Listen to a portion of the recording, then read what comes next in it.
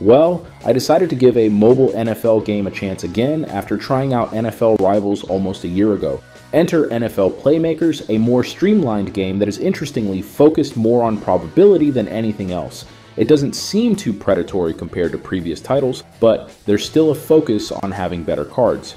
Luckily, the rate at which you get cards is pretty fast and is fair enough in terms of odds, since they are all placed on a board for you to see. I spent roughly 4 hours with the game and the loop is solid enough for me to come back wanting more, even if it is as simplistic as the game can get.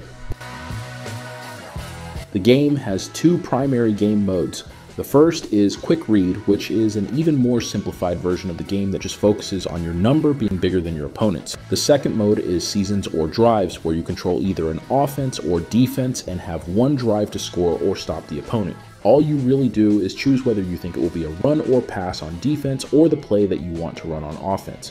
The cards do the rest. Each play has two outcomes that can happen based on a percentage modified by whether you pick the correct choice and the level of the cards involved in the play. Plays can never be more than 90% likely to happen and less than 10%, depending on how you perform, or if you complete the objective, you are rewarded with more picks for your card pool. You can either get a player or gear, which can be put on players to improve them. That is all there is to it, and the cycle continues. I liked how simple the game is to pick up and play. You are only responsible for one drive, so you can move on to the next match if you find that you are in over your head in terms of cards. The process and speed of getting new cards is great, considering you get several picks when successful, and, on average, will get a new quality card every 4 games or so. It is always fun just seeing the numbers go up, and the allure of finding a new quality card is a driving factor for most. The game does hit a wall in terms of progression.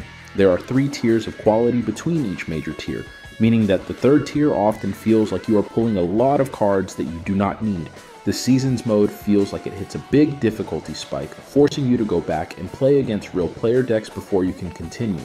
Another big problem is finding real players that you can realistically go against.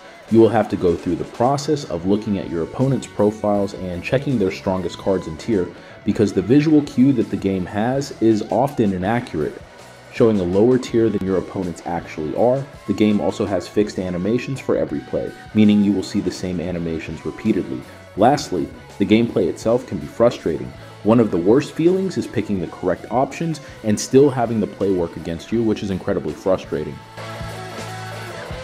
Overall, it's not a bad game. There was so much opportunity and honestly some small tweaks like being able to get more than 90% when you do everything right or making the progression a little more consistent would improve it, especially once you get into the next tiers. You can still get lower tiered cards than the one you are currently in.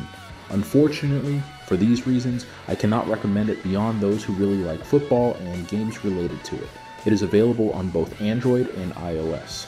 If you have any recommendations for me to review, leave them in the comment section below. Otherwise, stay tuned in to Gaming in the Moment.